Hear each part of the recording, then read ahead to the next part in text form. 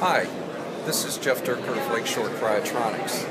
I'm here at the Magnetic Show and I would like to demonstrate the use of a lower cost Gauss meter uh, utilizing a Hall effect sensor. And uh, in this case, compared to the bench instrument, we have a handheld lower cost Hall effect Gauss meter. Has all the capability of the larger instrument, but it's lower cost at the sacrifice of accuracy. But in many cases, this is uh, perfectly capable of doing what many customers need to do.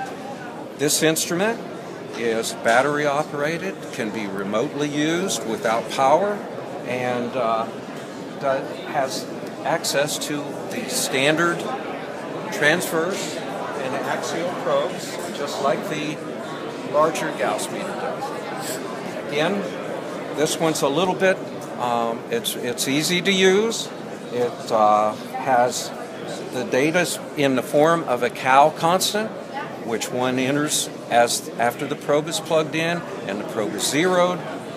Then one can make the user can make measurements with this transverse probe, for instance, off the magnet surface or at a distance, and um, they're very easy to use and quite economical to use.